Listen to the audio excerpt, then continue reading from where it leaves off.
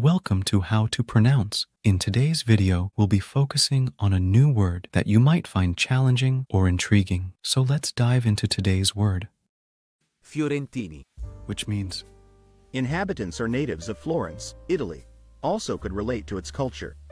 let's say it all together. Fiorentini. Fiorentini. Fiorentini. One more time.